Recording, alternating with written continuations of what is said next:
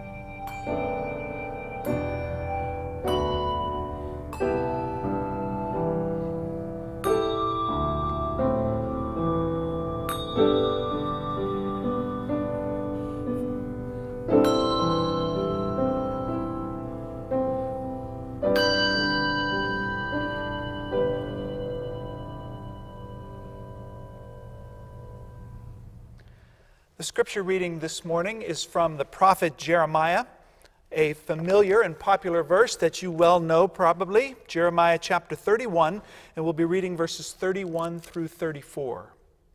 Listen for a word from the Lord.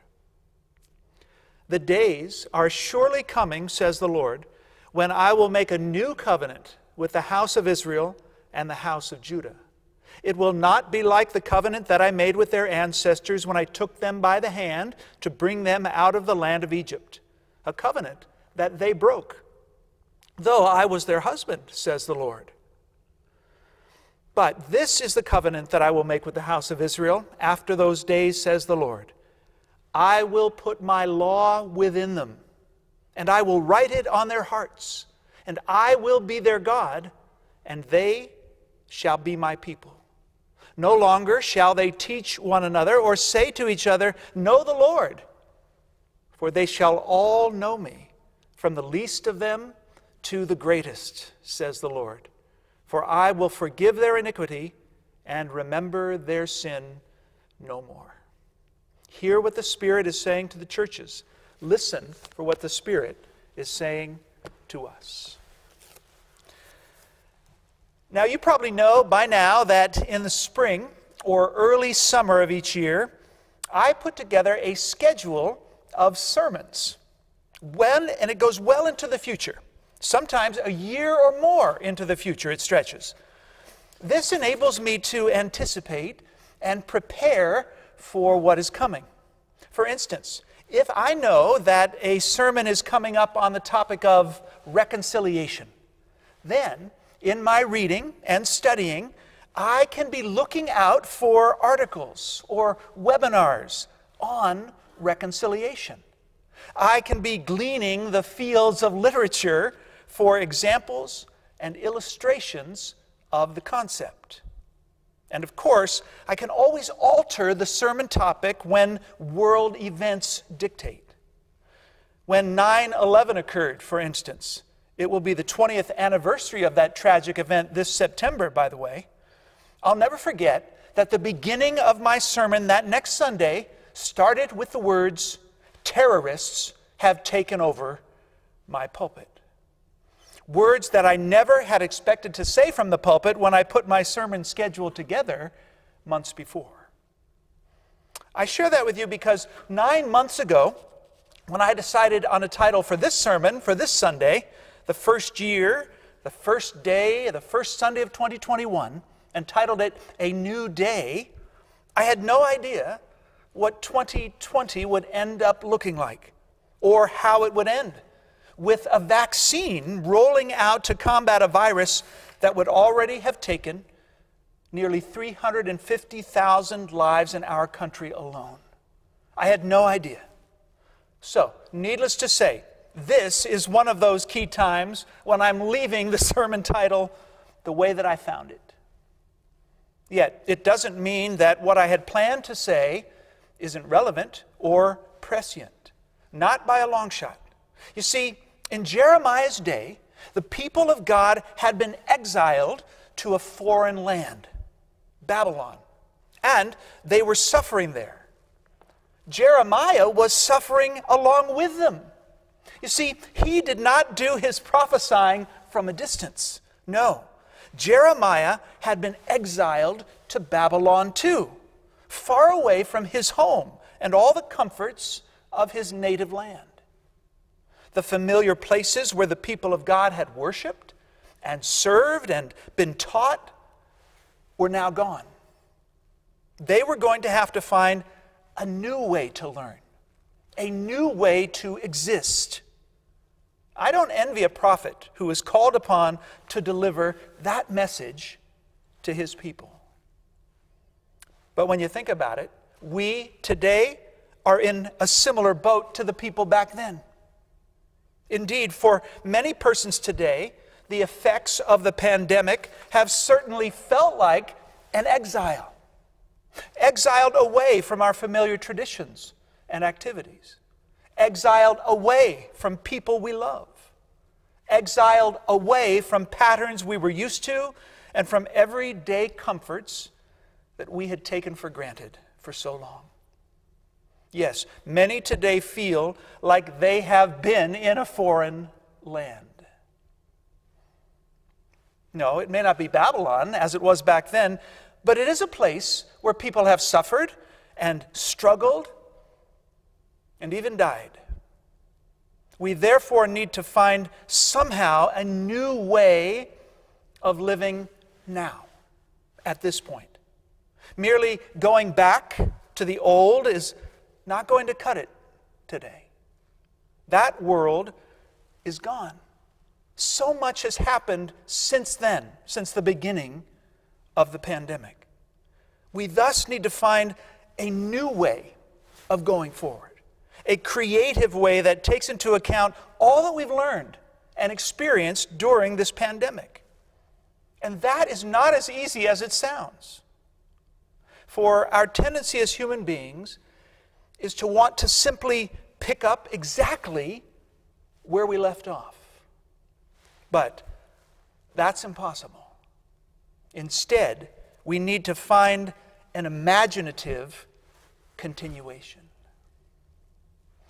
You know, on the heels of the Great Depression, Franklin Delano Roosevelt instituted what came to be called the New Deal, a series of economic initiatives and social programs intended to respond to the devastating events that had clobbered our nation at that time. Wildly popular now, nearly a hundred years later, those programs that FDR proposed were maligned by politicians and people at the time as experiments in socialism. That's right and were roundly criticized as ushering in the end of capitalism and life as we know it in these United States. Roosevelt barely escaped with his political life, and his political capital had been severely diminished. Yet today, Social Security, consumer protections, and what has since come to be known as Medicare are indispensable parts of the social safety net as we know it and on which all Americans rely. Try to get rid of them now or even to privatize portions of them, and you will widely be considered an immoral act and it would be political suicide. But when they were brand new, they came under intense fire. Jeremiah experienced something similar in his day. Oh, we read in chapter 31 of Jeremiah's prophecy now, especially since it's part of the holy canon of Scripture. We read chapter 31 now and we think this is beautiful, poetic stuff. God putting His law into people's hearts, God making a new covenant with the people. Everyone knowing the Lord inwardly and intimately. Why, it's revolutionary. It's inspired. Who could argue with it? Answer nearly everybody. Just put yourself in their shoes. Those exiles to Babylon had been away from everything familiar for such a long, long time.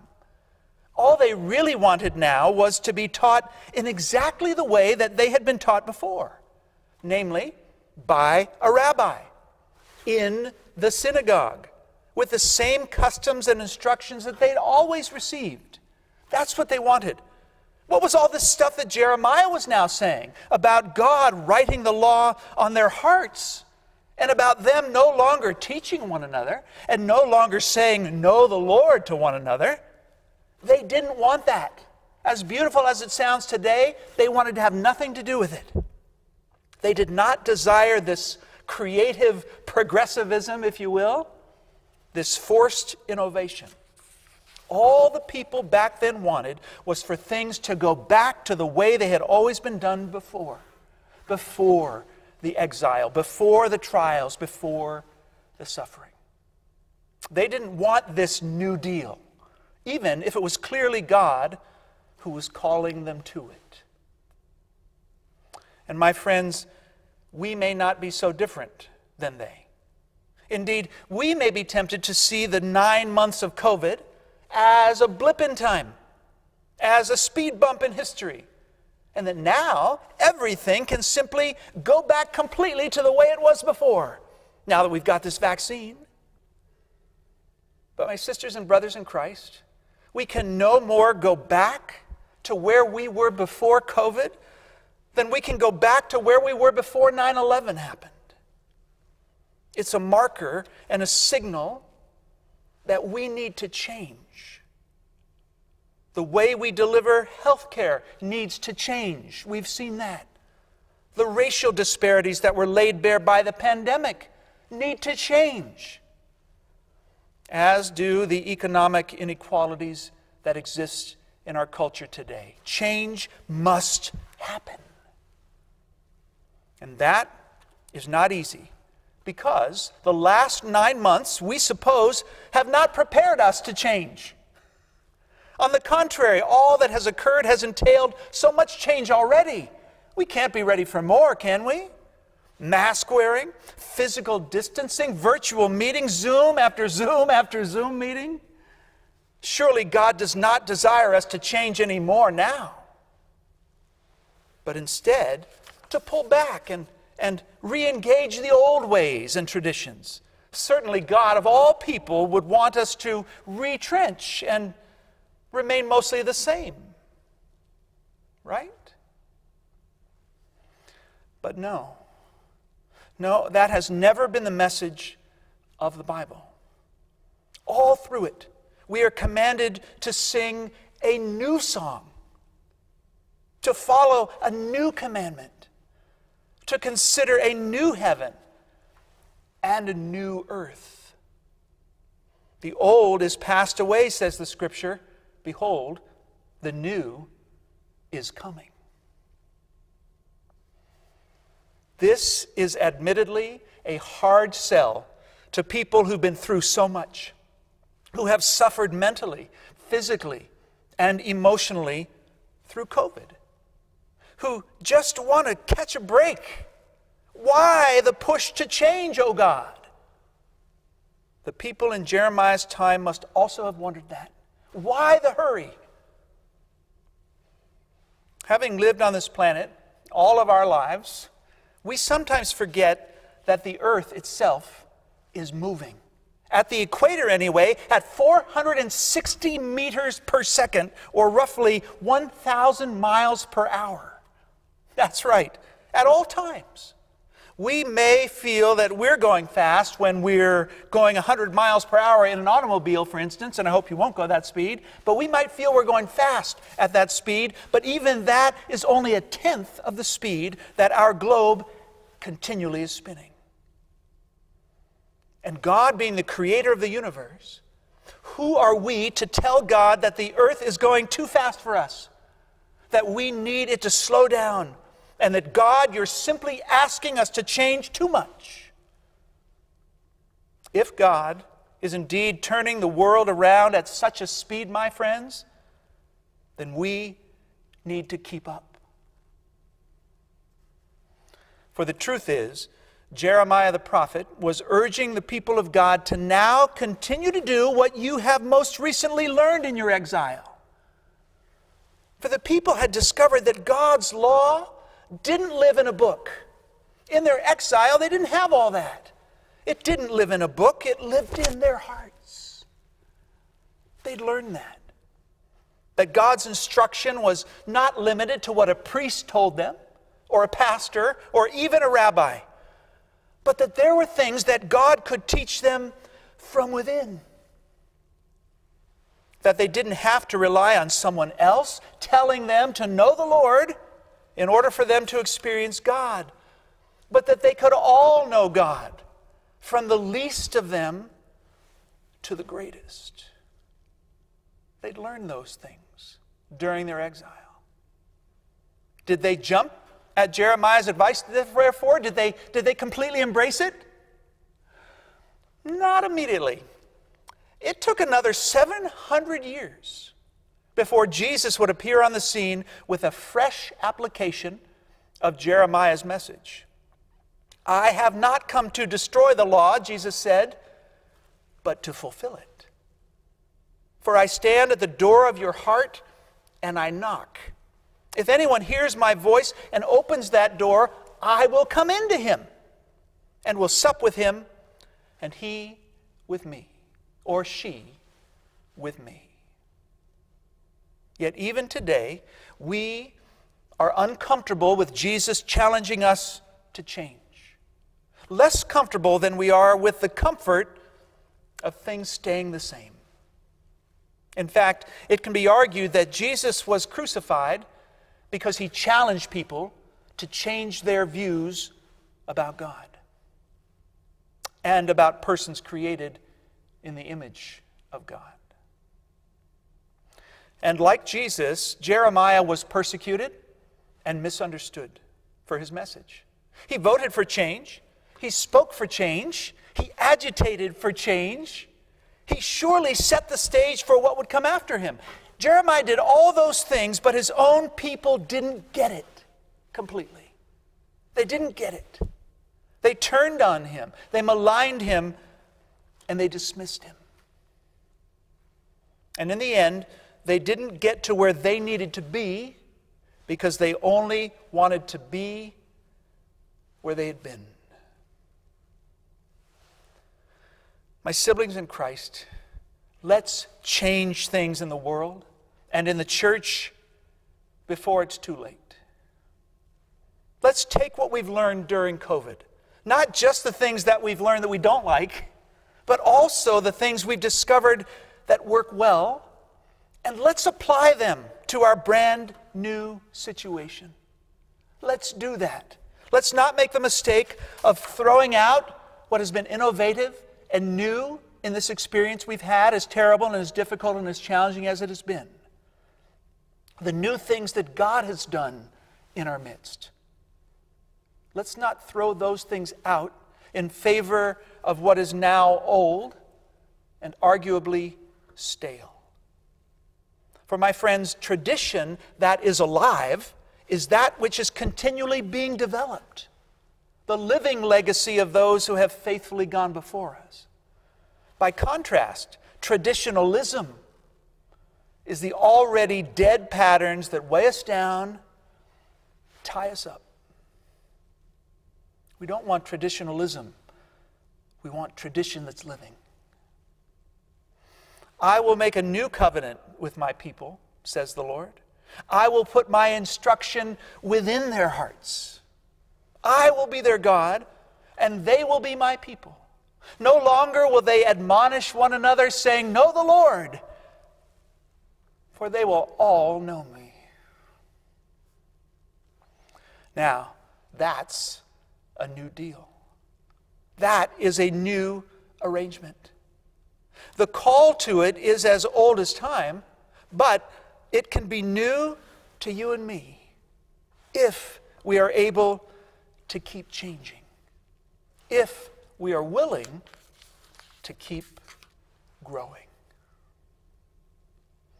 I think I can hear Jeremiah saying, Amen to that. Can we say it too? Amen. Hallelujah. And Happy New Year.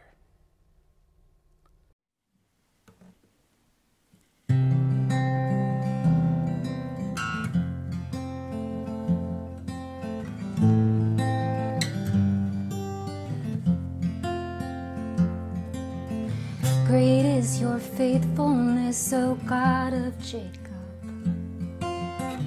You wrestle with the sinner's restless heart. You lead us by still waters into mercy, and nothing can keep us apart. So remember your people, remember your children, remember your promise, oh God. Your grace is enough. Your grace is enough. Your grace is enough for me.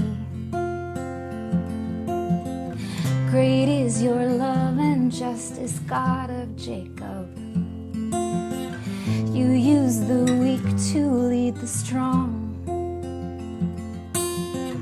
You lead us in the song of heaven's victory and all your people sing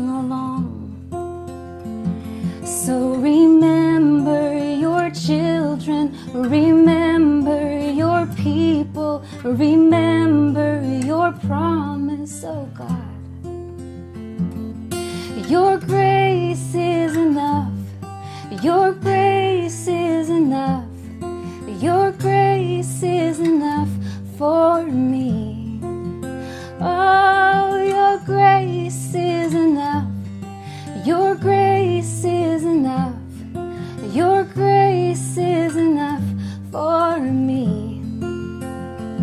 So remember your people, remember your children, remember your promise,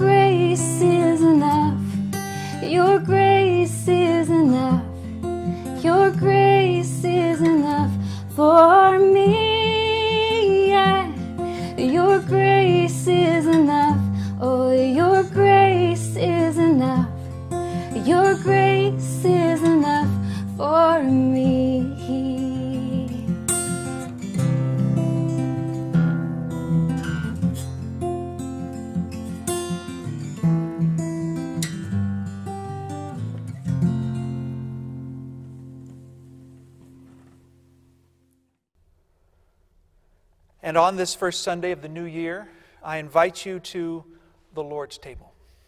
As we always say, this is not the Presbyterian table. It's not limited to us. It's not the Lutheran, the Baptist, or the Methodist table. It's the Lord's table. And it's set out for you and me this morning. I invite you, if you're at home, to find your bread and grape juice or other drink for communion and to be ready to participate as we go through this sacrament. As you know, on the night of our Lord's arrest, he took bread.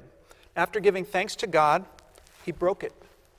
And he gave it to his disciples, saying, Take and eat.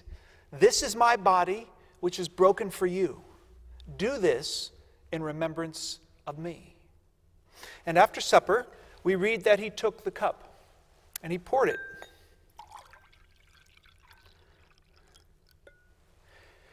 And he said, This cup is the new covenant in my blood, shed for the remission of sins for many. This do as often as you do it, remembering me. This is the Lord's table. It is right to give God our thanks and our praise. Lift up your hearts. We lift them to the Lord. I invite you now to take a piece of bread. This is bread of life for you today. And to dip it in the cup this is the cup of the new covenant, the new relationship with God, and to partake.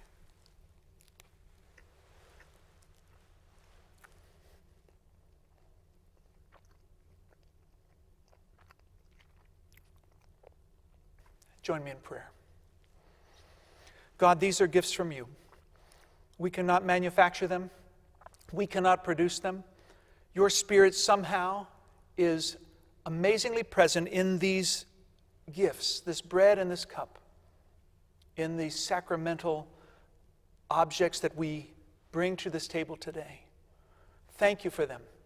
They change the way we see the world, they change how we feel about ourselves.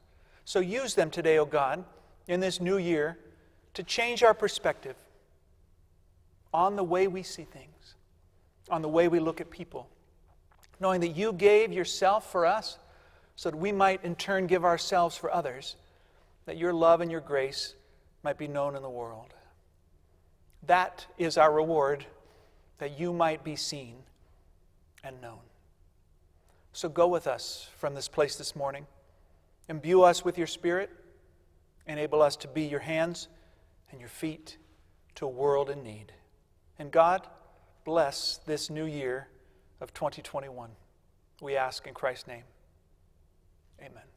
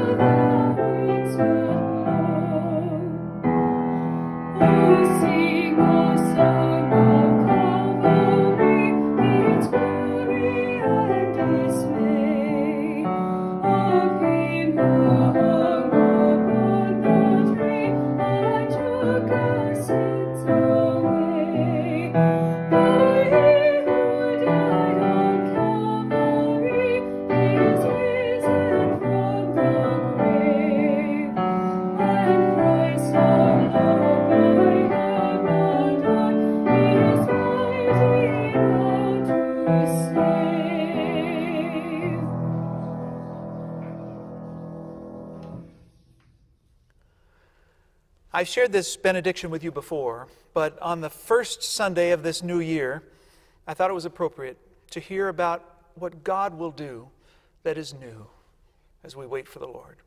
This from Revelation chapter 21. John says, Then I saw a new heaven and a new earth. And I heard a loud voice from the throne saying, See, the home of God is among mortals. God will dwell with them they will be God's people, and God will be with them. The Lord will wipe away every tear from their eyes.